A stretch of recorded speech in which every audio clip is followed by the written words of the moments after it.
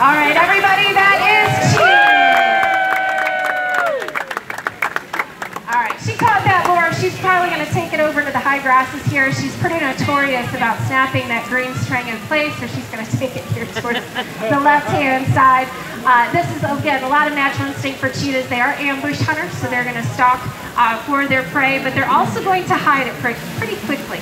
Uh, you can see she is pretty winded, so she's gonna she's not that strong. So she's gonna take it off there into the tall grasses.